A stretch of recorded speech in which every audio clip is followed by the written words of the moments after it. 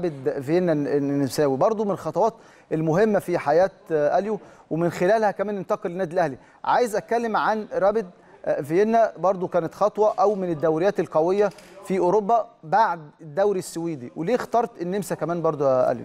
Bon quand في جالطة سراي وفي في أندية كبيرة كانت عايزاه ياخدوني في الفترة دي.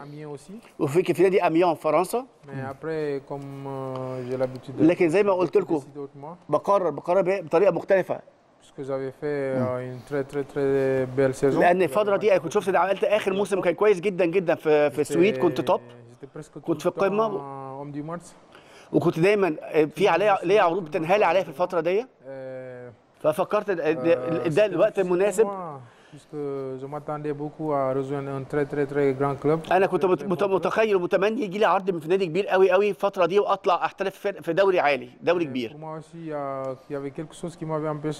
لكن في حاجة واحدة منعتني اني اعمل ده de, de rejoindre l'équipe euh, Amiens, puisque ان أروح نادي اميون فرنسا اللي هو نادي كبير في فرنسا بالرغم ان أنا اتفقت معاهم وكنت خلاص على وشك التعاقد par téléphone. في السنغال اتصلوا بيا كنت خلاص كنت هوقع؟ آه، وكنت فاضل بس بنأكد حاجة صغيرة آه، تفصيلة صغيرة في العقد. Du coup y avait un club chinois qui qui qui تو باري parce que les Chinois كلموني في السنغال قالوا لي في نادي آه، صيني حط مبلغ كبير جدا. انت عارف الصينيين بيحاولوا قدر الإمكان يستقطبوا لعيبة كبيرة بره sont venus ils ont euh, ils ont apporté beaucoup d'argent pour moi. Comme عرضوا عليا عرض كبير جدا مبلغ كبير جدا. وللنادي. أنا رفضت. لكن النادي آه، للأسف كان شايف إن العرض ده كان كويس بالنسبة لهم. فكانوا اجبروني إن الفترة دي أروح النادي الصيني ما أروحش النادي اميون وأنا رفضت. وهم اتضايقوا مني. فبالتالي قالوا نادي اميان لازم عشان يتعاقد معاك لازم يدفع نفس المبلغ الكبير اللي كان هيدفعه النادي الصيني طبعا ضيعوا عليا موسم الانتقالات جالي العرض من النادي بتاع فيينا بتاع النمسا وتفاوضت معاه بالشكل ده عارفين اللي بيتقفل يوم 6 يناير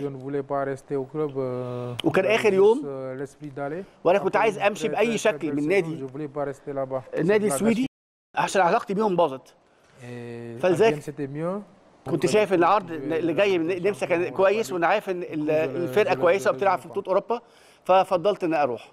في البدايات يعني أليو هل بيدور على العرض أو النادي اللي بيقدم عرض أكبر في الفلوس ولا بيدور على النادي اللي ممكن يكون خطوة مهمة في في حياة أليو ال- النادي اللي يضيف له من النواحي الفنية النادي اللي ممكن يكون فيه اساسي اللي يترك بصمة ولا دايما بيدور في العروض في ال- في العروض اللي بتقدم له على النادي اللي بيقدم له فلوس أكتر؟ L'offre des grands clubs. euh, لا طبعاً. ils كنت هروح الصين بالمبلغ الكبير ده. هيبقى فيه فلوس كتيرة 2 جدا. euh, et وكان مبلغ كبير جدا. أنا أنا رفضته. وطبعا أنا كنت بفكر في فلوس كنت قبلته. Je قلت quoi. أنا فضلت أفكر في مسيرتي كلاعب كرة قدم وأفكر في النادي يكون أكبر. بعد السويد